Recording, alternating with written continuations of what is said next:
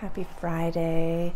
This weekend is a really exciting astrological weekend, and I know that I keep saying that, and a lot of other astrologers do, but it's just a really lovely, wonderful time period. And we know the planets aren't like happening to us, that they're just offering us this accessible energy, and we can utilize it to the best of our abilities. But like the image that came through, and why you're like right here and right here is like, look right at me, kid. Look right at me. Don't look over there don't look over there, look right at me.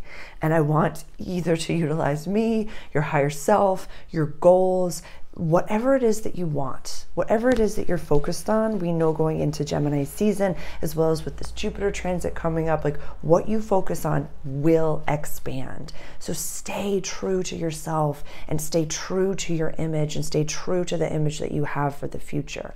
Because we have three on, I'm recording this on the 17th on Friday, and Saturday, the 18th, is when we have three conjunctions. And they're going to be accessible for the whole weekend, definitely so but I want you to really feel into it tomorrow on Saturday. So I have the Sun conjunct Jupiter right over here in Taurus. I have Venus conjunct Uranus in Taurus, and I have Mars conjunct the North Node over here. And it's not all by the second, you know, so it's off by, you know, a few minutes. So it's uh, by degree, Mars and the North Node in Aries, Venus and Uranus in Taurus, and the Sun conjunct Jupiter in Taurus as well. And so I am an Aries sun conjunct Jupiter in Aries. So that's why I'm such a rambunctious type of like natally, that placement, sun conjunct Jupiter, is gregarious, is excitable. Hi, if we've never met, nice to meet you. It could also be a little bit delusional. A little bit delusional. I'll speak from I statements. I meet people at the grocery store. I'm like, you can fly today if you want to. You can do anything you put your mind to. And it's like you kind of have to unpack some child ancestral stuff before you do that. But, you know, as I don't want to get into it. So I don't want you to expand Jupiter, something that you do not want. Ego, sun. So then sun in the sky is like a lighthouse, shining a light on different things. So this is happening near the end of Taurus, which runs the second house of money, values, and access to resources. I don't want you to get scared of something. I don't want something to, how do I say? When you meet the person that you're meant to be with in this world, you don't like hop into it on day one, you enjoy it. You enjoy the movie. So I don't want you to jump to the end of the book and read the last page. I don't want you to jump to the end of the good good. I really don't. I want you to be in it and get excited for it.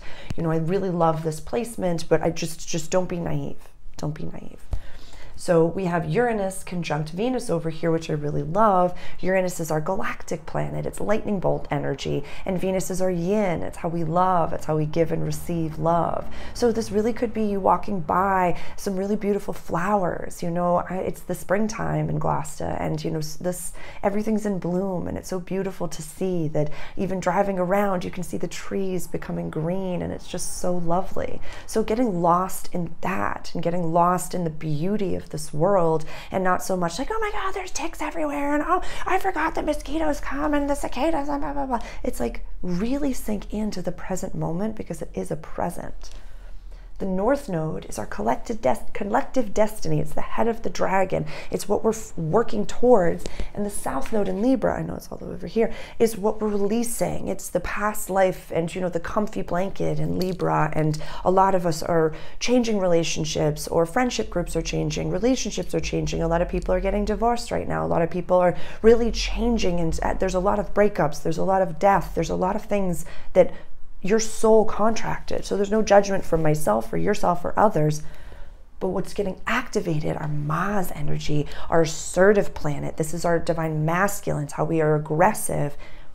That is being activated in a way that's so exciting. So it's almost like a lot of people might be getting opportunities. A lot of people might be getting good, bad, or ugly, the things that they contracted right quick.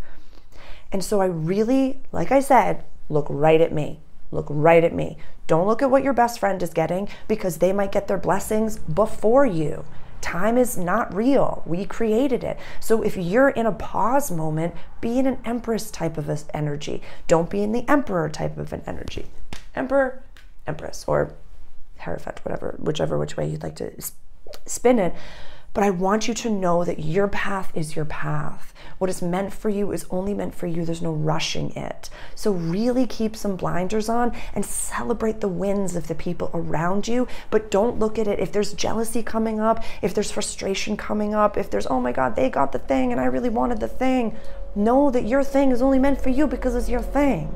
Celebrate the people next to you, celebrate what they're experiencing, and be there for those that are going through incredible losses and incredible lows. Everything is an up and a downswing. So be there for someone's downswing, celebrate their upswing, but also know that your time is your time. This could be your things coming in quick. Uranus is lightning bolt. We can't really predict when that's going to happen. Sun, Jupiter, and Taurus. Taurus is still chugga chugga. So it's things could happen slow, never, eventually. Just know that when you are in the absolute right time and place, alignment for your blessings to find you, you can't stop it. You can't stop it. This is a lot of energy. So I just wanted to offer this little video for you to say you are right where you're meant to be. What's meant for you is only meant for you. Try not to impose your judgment onto other people that says this is good, this is bad, or this is ugly. Just be there for them with unconditional love. Be there for yourself in unconditional love. Feel what you're feeling as it comes up and just be open to God blessing you every day. Be open to it every single day. Don't, at the end of every day, if you know the thing that you're trying to manifest or create or the person whatever it may be if you say like well i messed it up because today wasn't the day. I want you to just be grateful that you lived another day and find something fingers and toes coffee tea water whatever it may be the roof over your head to be grateful for. Be grateful for where you are but never lose that childhood sense of wonder yeah, things are going to get galactic so quick, like beyond what even I can possibly say. So be open to it in a really healthy, safe way. I pulled a tarot card for us for this when I was talking about this, and my guides gave me this. It's love and emotions and beautiful water energy coming in in a lovely, lovely way. You know me, I like to get a major arcana card. So you know that your soul's meant to be here. Appreciate the little things. And it's only the top down, the crown that falls down. The roots are good, the structure's good, the structure stays. Anything else? Get out in the garden, kids. What are you most grateful for? Three things.